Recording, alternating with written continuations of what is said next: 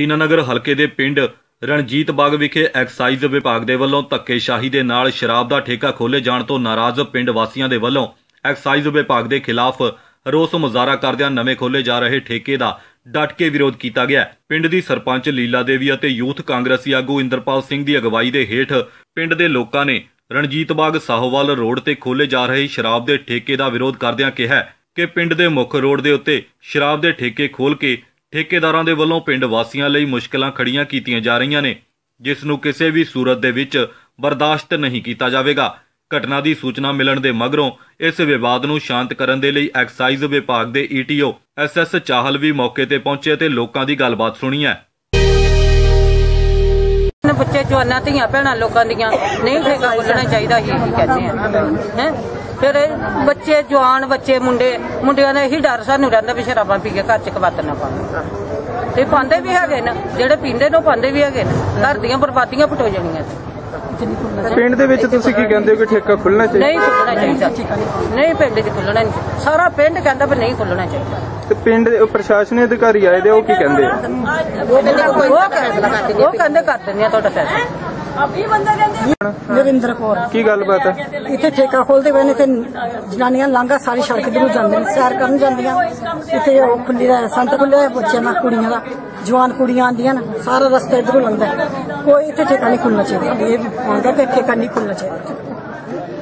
ਸਾਰੇ ਪਿੰਡ ਵਾਸੀ ਜਨਾਨੀਆਂ ਸਭ ਨਾਲ ਕਹਿੰਦੇ ਨਹੀਂ ਖੁੱਲਣਾ ਚਾਹੀਦਾ। ਸਾਰੇ ਪਿੰਡ ਵਾਲੇ ਨਾਲ ਨਾਲੇ ਲੋਕਾਂ ਦੇ ਬੱਚੇ ਬਰਬਾਦ ਕਰ ਹੁੰਦੇ ਪ੍ਰਸ਼ਾਸਨ ਕੋ ਕੀ ਮੰਗ ਕਰਦੇ ਹੋ? ਤੁਸੀਂ ਅਸੀਂ ਪ੍ਰਸ਼ਾਸਨ ਪ੍ਰਸ਼ਾਸਨ ਇਹ ਮੰਗ ਕਰਦੇ ਕਿ ਇੱਥੇ ਠੇਕਾ ਨਹੀਂ ਖੁੱਲਣਾ ਚਾਹੀਦਾ। ਦੇ ਅਧਿਕਾਰੀ ਆਏ ਆ ਉਹ ਕੀ ਕਹਿ ਰਹੇ? ਤੁਹਾਨੂੰ ਖੁੱਲਣਾ ਚਾਹੀਦਾ ਕਿ ਨਹੀਂ? ਉਹ ਕਹਿੰਦੇ ਨਹੀਂ ਤੁਸੀਂ ਜੋ ਫੈਸਲਾ ਕਰੋਗੇ ਭਾਈ ਵਕਤ ਠੇਕਾ ਜਿਹੜਾ ਅਸੀਂ ਸ਼ਿਫਟ ਕੀਤਾ ਸੀ ਅਸੀਂ ਠੀਕ ਹੈ ਜੀ। ਉਹ ਪਿੰਡ ਵਿੱਚ ਦੋ ਤਰ੍ਹਾਂ ਦਾ ਕੋਈ ਮਸਲਾ ਆਪਸ ਵਿੱਚ ਉਹ ਕਹਿੰਦੇ ਕਿ ਇਹਨਾਂ ਨੂੰ ਕੁਝ ਪ੍ਰੋਬਲਮ ਹੈ ਇੱਥੇ ਲੋਕੇਸ਼ਨ ਨੂੰ ਲੈ ਕੇ। ਉਹ ਅਸੀਂ ਇਹਨਾਂ ਨੂੰ ਦੋਵਾਂ ਧਿਰਾਂ ਨੂੰ ਬਿਠਾਵਾਂਗੇ ਦਫ਼ਤਰ ਬੁਲਾਇਆ ਵਾ। ਤੇ ਬਿਠਾ ਕੇ ਜੋ ਇਹਨਾਂ ਦਾ ਐਮਿਕੇਬਲ ਸੋਲੂਸ਼ਨ ਹੋਏਗਾ ਉਹ ਕੱਢਾਂਗੇ ਇਹਨਾਂ ਦਾ ਬਿਠਾ ਕੇ। ਕਿ ਜੋ ਦੋਵਾਂ ਦੋਵਾਂ ਧਿਰਾਂ ਨੂੰ ਜੋ ਸਹਿਮਤੀ ਹੋਵੇ। ਸਰ ਕੀ ਕਹਿ ਰਹੇ ਠੇਕਾ ਖੁੱਲਣਾ ਚਾਹੀਦਾ ਜਾਂ ਪਿੰਡ ਦੇ ਵਿੱਚ? ਨਹੀਂ ਕੁਝ ਲੋਕ ਕਹਿ ਰਹੇ ਖੱਲਣਾ ਚਾਹੀਦਾ ਕੁਝ ਲੋਕ ਕਹਿ ਰਹੇ ਨਹੀਂ ਖੱਲਣਾ ਚਾਹੀਦਾ। ਸਰਪੰਚ ਸਾਹਿਬ ਦਾ ਕਹਿਣਾ ਕਿ ਪਿੰਡ ਦੇ ਵਿੱਚ ਜਿਹੜਾ ਠੇਕਾ ਨਹੀਂ ਹੋਣਾ ਚਾਹੀਦਾ। ਨਹੀਂ ਉਹ ਤੇ ਜਿਹੜਾ ਰੈਵਨਿਊ ਪੈ ਚੁੱਕਾ ਸਰਕਾਰ ਦਾ ਉਹਦੇ ਆਹ ਸਾਲ ਤੇ ਹੁਣ ਚਲਾਵਾਂਗੇ। ਉਹ ਇਹ ਹੈ ਕਿ ਚਲੋ ਅਸੀਂ ਅ, ਲੋਕਾਂ ਨੂੰ ਬਿਠਾ ਕੇ ਉਹਨਾਂ ਦੀ ਸਹਿਮਤੀ ਨਾਲ ਲੋਕੇਸ਼ਨ ਫਿਕਸ ਕਰਕੇ ਉਹਦਾ ਆਪਾਂ ਹੱਲ ਕਰਨਾ ਕਰ ਲਿਆ ਜਾਵੇਗਾ। ਵਿੱਚ ਸਰ ਦੂਰੀ ਇਹਦੀ ਹਾਈਵੇ ਤੋਂ 500 ਮੀਟਰ ਪੂਰੀ ਹੈ? ਹਾਂਜੀ ਜੀ ਜਿਹੜੀ ਪ੍ਰੈਜ਼ੈਂਟ ਲੋਕੇਸ਼ਨ ਹੈ ਦੀ 220 ਮੀਟਰ ਹੋਣੀ ਚਾਹੀਦੀ ਆ। ਉਹ 220 ਮੀਟਰ ਤੋਂ ਉੱਪਰ ਜਿਹੜੀ ਲੋਕੇਸ਼ਨ ਫਿਕਸ ਕੀਤੀ ਗਈ ਹੈ। ਪਰ ਤੁਹਾਨੂੰ ਦੱਸਿਆ ਜੋ ਵੀ ਹੋਏਗਾ ਅਸੀਂ ਤਾਂ ਬਿਠਾ ਕੇ ਲੋਕਾਂ ਨਾਲ ਸਹਿਮਤੀ ਨਾਲ ਚਲਾਉਣਾ ਵਾ। ਨਾ ਕੋਈ ਲਾਅ ਐਂਡ ਆਰਡਰ ਦੀ ਪ੍ਰੋਬਲਮ ਹੋਵੇ ਤੇ ਨਾ ਹੀ ਕਿਸੇ ਪ੍ਰੋਬਲਮ ਆਦਮੀ ਨੂੰ ਪਰਟੀਕੁਲਰ ਆਦਮੀ ਦੇ ਬਾਰੇ ਕੋਈ ਪ੍ਰੋਬਲਮ ਹੋਵੇ ਠੀਕ ਹੈ ਜੀ? ਪੰਚਾਇਤ ਵੱਲੋਂ ਪਹਿਲਾਂ ਹੀ ਮਤਾ ਪਾ ਕੇ ਰੈਜ਼ੋਲੂਸ਼ਨ ਦਿੱਤਾ ਗਿਆ ਸੀਗਾ। ਕਮਿਸ਼ਨਰ ਸਾਹਿਬ ਨੂੰ ਕਿ ਠੇਕੇ ਦਾ ਜਿਹੜਾ ਆਪਾਂ ਵਿਰੋਧ ਕੀਤਾ ਕਿ ਪੰਜਾਬ ਦਾ ਜਿਹੜੇ ਕੈਪਟਨ ਦਾ ਨਸ਼ਾ ਮੁਕਤ ਪੰਜਾਬ ਬਣਾਉਣ ਦੇ ਵਿੱਚ ਆਪਾਂ ਇੱਕ ਬੜਾ ਵੱਡਾ ਅਹਿਮ ਰੋਲ ਅਦਾ ਕਰਨਾ।